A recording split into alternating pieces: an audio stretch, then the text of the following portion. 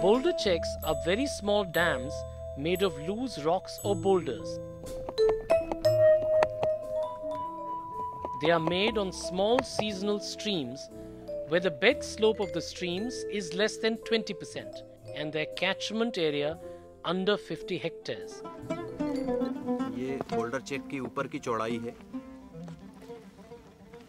और ये जो आप रस्सी देख रहे हैं ये इसके ढलान को मेंटेन करने के लिए है ये ढलान इस तरह से लिया जाता है कि जैसे एक मीटर ऊंचाई है तो ये एक मीटर इसका हॉरिजेंटल डिस्टेंस है इसी तरह पीछे की ओर देखेंगे तो ये एक ऊंचाई और तीन छत्तीस दूरी मतलब ये ढलान हुआ एक अनुपात तीन का A dip is created at the center of the boulder check by holding down the ropes with stones, thereby creating a slope towards the center.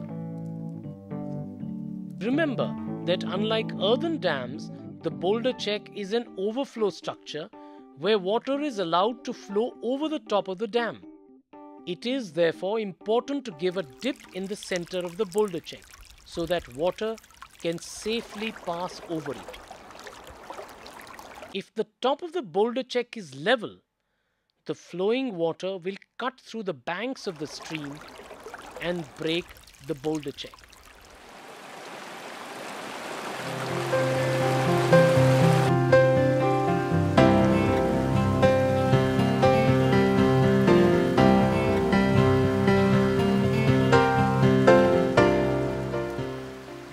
Boulder checks hardly cost a few thousand rupees, but their cumulative impact is truly remarkable.